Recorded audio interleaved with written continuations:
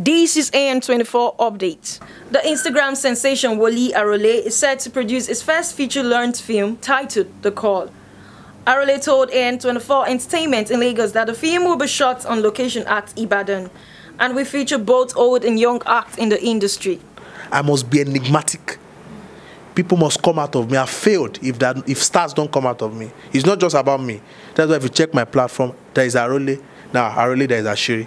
Now, from uh, from me, other people will come out. Other people come from actually. So we must spread greatness. You understand? We can we must not contain it. It's not the movie I'm doing is not about me alone. I won't be the only guy you're gonna see. Your favorite actor might be Sam Ajibola. Some are, now the young people there, I did auditioning for this. I told my crew, don't center it about me. Center it about people that are gonna come out from me. So we are building an institution, a campground. That's where we are going. He also talked about all that inspired the movie, The Call. And what inspired it is just I felt that um, there's a, there's a time I pass a message across through my talent that I have. And why the call? Why not another name? I discovered that people have different talent, dif- different gifts in them.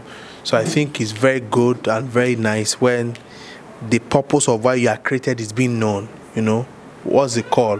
Who has a call? You understand? Who called you? So it is something that reawakens something in you. There's a reason why you're interviewing me. You have a gift in you, you have a talent. So it's about why you are made.